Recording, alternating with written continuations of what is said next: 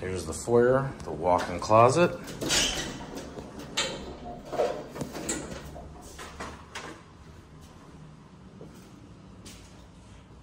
Kitchen's right here.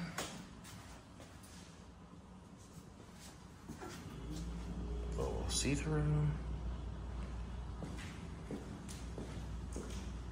Nice large living room. Balcony looking out on 24th Street. Got recessed lighting in here, which most of the units don't have.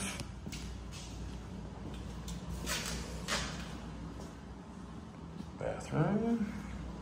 Got the bedroom here. Walk-in closet.